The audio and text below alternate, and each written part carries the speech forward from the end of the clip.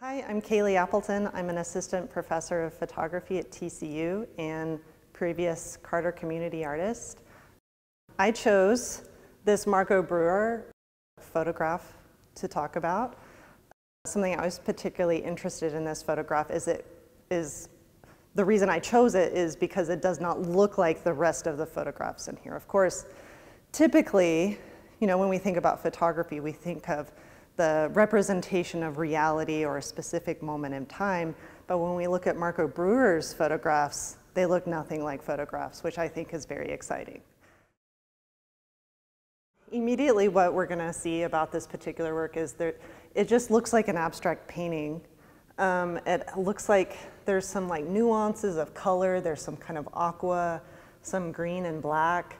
And if we look really closely and we kind of move back and forth, we'll see that there's some really shiny parts that are black.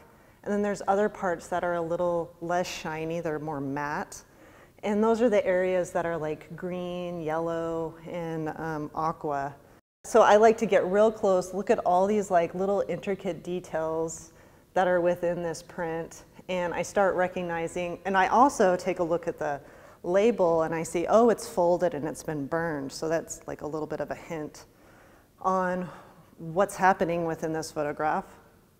I know that it's a cameraless technique. So that means this was never taken with a photograph, but it's really just kind of this uh, manipulation of a photo paper. So this would be like an analog or a piece of paper that would originally, its purpose was to hold a photograph or have a photograph imprinted in it.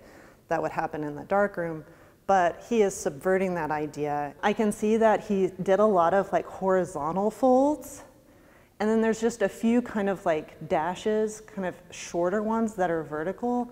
So I suspect that this print or this piece of paper was originally folded quite a bit, kind of like a fan, and then um, periodically folded in half, and that created those kind of like shorter marks.